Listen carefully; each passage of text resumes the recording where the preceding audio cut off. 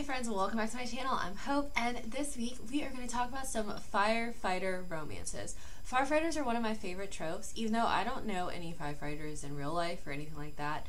But they are one of my favorite tropes to read about, so I have been reading some of those recently, read some in the past, and I'm here to give you some recommendations if you're interested in that or if you're trying to get interested in it, whatever.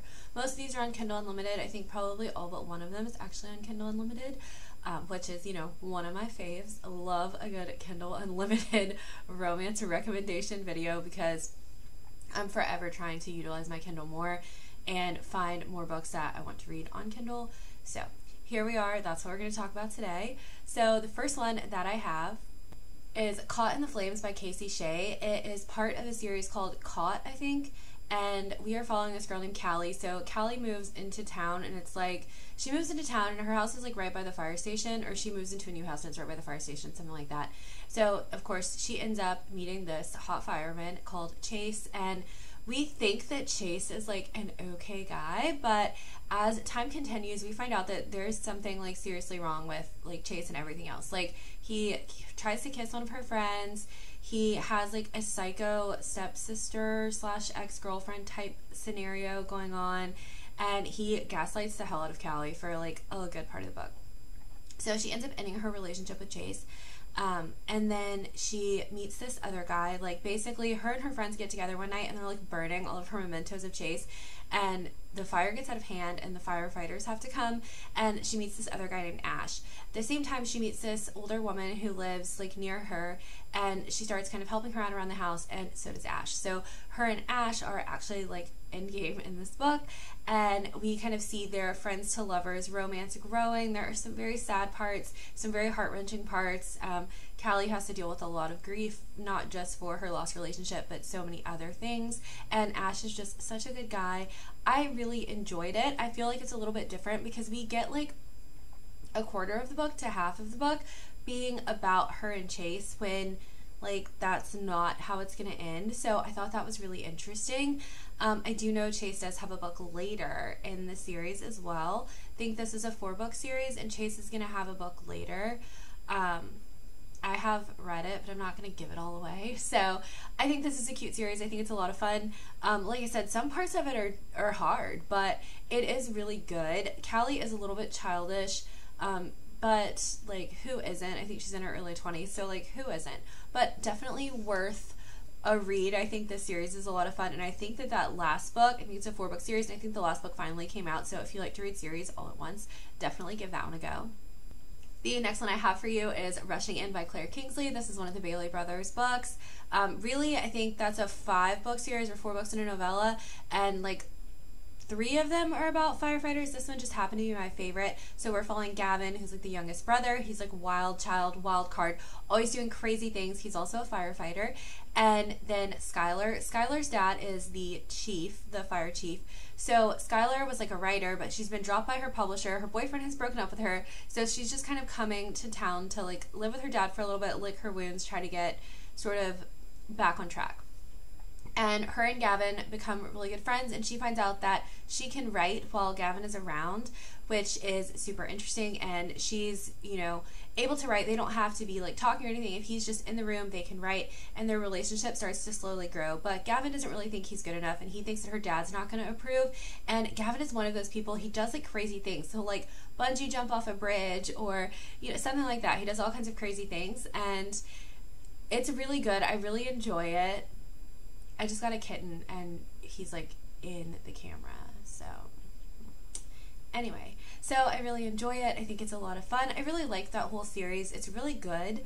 Um, Claire Kingsley writes fantastic series about families and everything. So you do get a lot of the brothers, some of the earlier couples. You see people from other books come in, and I just think it's a lot of fun. I definitely recommend that whole series, honestly. So definitely give that one a go. The Bailey Brothers. Okay, next I have Protecting What's Mine by Lucy Score. I think this is part of the Benevolence series. So we are following Mackenzie, who goes by Mac, and she is like a trauma surgeon on a helicopter, like a Metaflight thing. That's what I think it is. Like she works on the helicopters on the medical flights, like when they're coming to pick you up because you've been in like a traumatic accident or something, they're taking you to the hospital. And Lincoln, who goes by Link, who is a firefighter in town. So they meet. Um, there's like an accident on the freeway, kind of, and he is trying to rescue the girl that's trapped inside the car, but he gets badly burned. So they fly him to the hospital, and that's how they meet. But then they find out that they're next door neighbors and they have like this instant attraction, but neither of them wants a relationship. And at the same time, something is going on with Mackenzie. Like someone's breaking into her house, someone is kind of like messing with her, and she thinks she knows who it is. And you know, Link is trying to protect her. It's so good. I absolutely loved this whole series. There's three books in it all takes place in the same little town. They're all friends. And I just absolutely love this series. I read it a while back and I thought it was so good. It was one of the first like firefighter romances that I remember reading. And I was 100% here for it. Like, so, so good. Okay, then we have Kitty Valentine Dates a Fireman by Jillian Dodd, a romantic comedy. These are so much fun, guys. I like these are so fun. So Kitty Valentine is an author. She lives in New York City. She's been on the New York Times bestseller list like five times or something. But she writes like very sweet romances and her agent is like that's not what people want anymore. You need to write some steamy romances. So her friend and her agent everyone come up with this idea that she has one of those wheels and you spin the wheel and whatever guy is on there is what she has to date. So we're talking like billionaire doctor firefighter santa just all kinds of stuff. So she spins the wheel and lands on firefighter well lo and behold her grandmother is taking her to a charity bachelor auction and there's a firefighter. So Kitty wins this firefighter, but he's her middle school bully. And she they remember one another and he's like, I have changed. And she's like, You are terrible. No. But of course they end up dating just because like she needs to fireman for her book. so she doesn't like write all about the relationships, but she does get some information about like what it's like to do this job and everything. Um, I really enjoy this. You don't have to read them as a whole series, but I like kind of suggest it. I think there's 10 of them, but they're very short, only like 200 or so pages. And just come here. And just so good. Like so good. And they're so cute. They're so funny. Kitty is like a absolute basket case. She's very anxious. She is always worried about like what's next, what's she gonna do. She overthinks everything, but I really enjoy her. So her best friend is a lot of fun too. She has like a grandmother who's quite wealthy and also just like a little bit eccentric, but still fun. And then she has an across the hall neighbor named Matt who has a golden retriever named Phoebe. You guys know I always love a dog in a book, and I just really like Matt. Matt is such a good character. He's such like a foil to Kitty's just like, you know, craziness that's going on. So good. I really love this whole series. This book is really good and it's really cute. Like I said, they're very short, so you could definitely just kind of fly through that. Then I have Hosed, which is another series that a book in a series that I've talked about before. So it is by Pippa Grant, and it is part of the Happy Cat series. So we have Ryan and Cassie. Ryan is a firefighter. Cassie is she's in Happy Cat, Georgia, taking over the sex toy factory that her sister owns because her sister has like run away, and she's living in her sister's house, which is right next door to Ryan. And she used to have a crush on Ryan, but you know Ryan was kind of like no but now they both kind of have a crush on each other. But in the meantime, there's something going on. Someone is kind of out to get Cassie, and they are trying to figure out exactly what's going on. And, you know, situations get pretty dire but it's still really good. And there is a raccoon in this called George Cooney, and he is so funny. He always like ends up in clothes. He eats like candy. He is so funny. I absolutely love George Cooney. This is such a cute little series. I haven't finished the entire thing, but I've probably read half of it. And honestly, it's just so cute. Like, I cannot recommend it enough. Next, I have Deal Makers by Laura Lee. So, this is a brother's best friend firefighter romance with a like secret Vegas marriage. So, we have Charlie and Drew, and we start out. Is that is that their names? Yes, Charlie and Drew, and we open up in Vegas. I love a book that opens up with a Vegas marriage. I think that's so interesting. So we open up with this, like them waking up in Las Vegas and they realize that they are married. So then they have to go back home and we get kind of what's going on now and what happened that night in Vegas. So basically, Drew is Charlie's brother's best friend. They've been best friends for 10 years. And they're in Vegas for a bachelorette party. Well, a bachelor slash bachelorette party. And Charlie and Drew have had this attraction. They're both attracted to one another. Um, and Charlie actually like kissed him one at one point, and her brother walked in. It was like no, no, no, no, no. So they're very worried about her brother, and they're keep like they're saying we're gonna annul this marriage, like it's not gonna happen. Except for they never get around to signing the paperwork. So they never get around to signing the paperwork because they're too busy hooking up. And then, of course, her brother finds out, which is as. Mm, which, as you know, is a huge tenant of brothers' best friend romances. So we have that going on, and they're trying to navigate their relationship while also kind of slowly remembering what happened that night in Las Vegas and how like just having a drink together led to this and whether they actually should be together or not. So we don't ever talk about him being a firefighter other than like they say, oh, he has such a hot bod because he's a firefighter, um, which kind of annoys me when it's like advertised as a firefighter romance, and that's what it is. But you know, if you don't want any of that drama that really comes with it, fair enough. And then, like the way that like the big conflict happened at the end kind of annoyed me because I feel like Charlie never trusted Drew and I find it hard to believe that they are willing to have this relationship and they've built this relationship when Charlie never trusted him. Guys, right guys, I'm so sorry that I'm like snapping my fingers off camera and like saying come here and everything.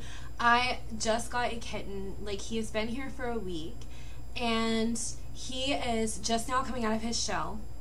I rescued him. Um, so I'm definitely pre-filming this. So by the time this video comes out, he'll have been here for a little while.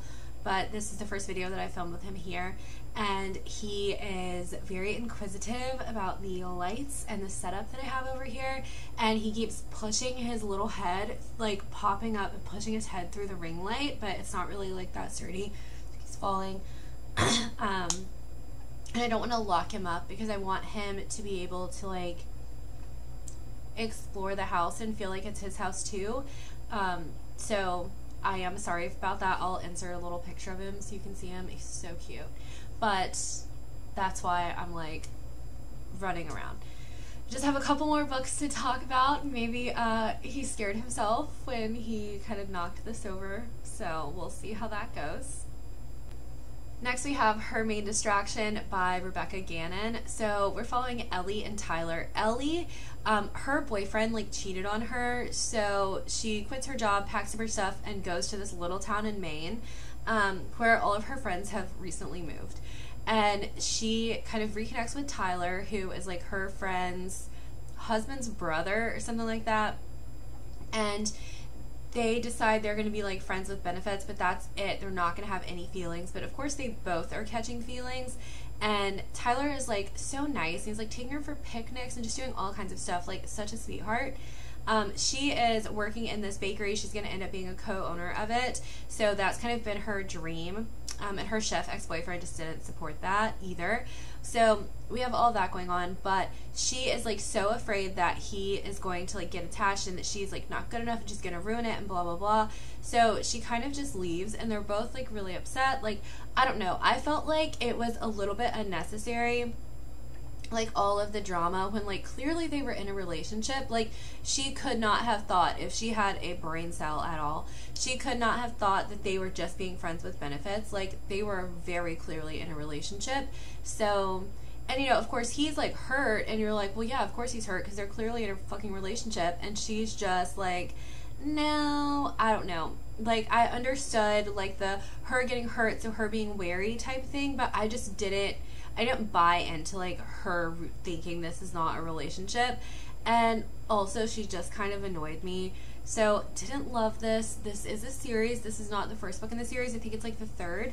But I just didn't love this one. It just wasn't. It just wasn't for me.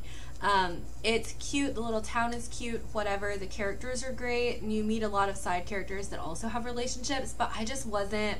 This one just was not for me. The next one I have, though, was for me, and that is Ignite by Melanie Harlow. So I love Melanie Harlow's Cloverleaf Farm series. Um, I've read a good bit of it. There are two that I haven't read just because I felt like those weren't tropes that I loved, but I really enjoy this series. So this is actually another book in that series, which I didn't realize. I thought this was just like another one of her books. So we're following Winnie, who is um, Mac and Franny's daughter from like their book, or well, Mac's daughter that Franny's like adopted basically from their book, and then what is his name? Dex, and then Dex, who is a firefighter. So Dex is a single dad, and he is moving into this like little townhouse condo thing, um, and she lives next door. Winnie does. So Winnie has sworn off love because she falls in love super easily. Like she'll like just become obsessed, like plan her wedding, whatever. She's pretty upfront about that. Winnie also has a cat named Piglet. You guys know I love a cat. Um, so she's like spying on him. She thinks he's really attractive, but he's kind of pushing like against it. He's like, no, she. He's like, she's a baby. She's a baby. She's 22. He's like 34, I guess. So there's that. And they end up hooking up really quickly. And they're both super attracted to one another, but they decide that they're just going to be like, you know, they're just hooking up. So she's like, I'm not going to fall in love with them, blah, blah, blah. So while all this is going on, he's trying to take care of his girls. He's a firefighter. And also, she is applying, or she, like, gets offered this job on in Maine, I think, like on the East Coast. So they are, and he's like, go ahead and take it. So they're doing their whole relationship thing. They're clearly very into one another, like, but she's gonna leave, and he thinks that they can't be together because of their age difference and everything else. Really parallels Mac and Franny, who also had like a ten year age difference, and he kind of felt the same way. So like they even make jokes that like she is Franny, he is Mac. Like, it, you know, they make a lot of jokes. I really liked this. I loved the way that the story came together. I loved their relationship. I thought it grew really well. I thought it was really organic.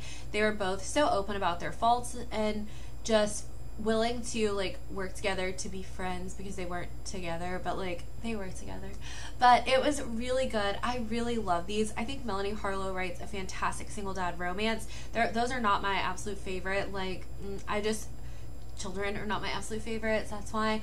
But I think that she just writes an absolutely phenomenal, you know, single dad romance. I love her small town romances. I think she's great. So I was perfectly happy to read this. I think it just came out like the end of last year or something too. So very, very good. Definitely recommend that one. And then I have one more for you guys. Um, it is not on Kindle Unlimited, but some of her other books are, and that is Cockloft by Casey Lynn. Um, I love I've read like every book she's ever written. I love her book. She hasn't come out with one in a couple of years though. So Cockloft is actually a companion novel to another one called Beautifully Insightful, I think. But in this one, we are following Cece, and Cece is like a rich girl, and they live in Atlanta. And she's like a rich girl. She owns a little boutique, and she's just like doing her thing. She also has a pet chihuahua. So one day, her fire alarm is going off in her building, and she's like, "Oh hell!" Like this is just someone set it off or whatever. So she stays in bed. And then she starts panicking and she starts looking through her closet for a purse. And this hot fireman comes in and is like, What the hell is wrong with you? So they have to take like the giant ladder all the way down. She's in her underwear. She has her dog, like super hilarious. But then they kind of keep running into one another. He shows up at the strip mall thing where her shop is. His name is Gabriel. And then they end up at this birthday party for a girl that works for her, and they end up partnered together for this scavenger hunt and that is when sparks really begin to fly and they kind of hook up. And they're both like well this is just a hookup. But then they go to dinner and then he takes her to like his grandma's birthday party and they're spending so much time together and they're so into one another. And i think their relationship is just so good.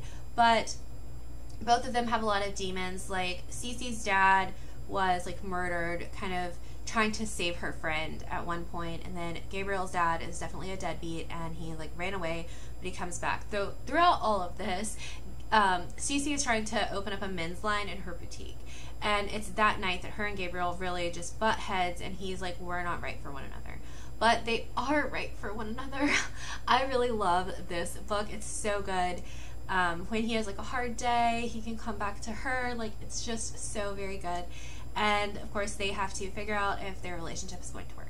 But really, just fantastic. That's one of my favorites. So Casey Lynn has a couple of other firefighter romances in her like little sweet series. We have Sam and Jace, and Jace is a firefighter. Um, and then she has another one called is it The Ultimate Sacrifice? Um, that is, uh, it's going to be a series, and it's about um, firefighters who are tracking like a serial arsonist. So definitely recommend those. They're all really good. And that is kind of what I have. I hope that you guys heard about at least one book that you would be interested in reading because, like I said, just love a firefighter romance. Absolutely adore it. Um, we had a gala one time at this museum that I worked at, and our fire alarms went off, and there was a red carpet outside, and the firemen walked the red carpet in their, like, in all of their gear because there was not a fire. Our alarm system is faulty. Anyway, so yeah, I love a firefighter romance, and I hope that you guys enjoyed it, and I'll see you next time. Bye!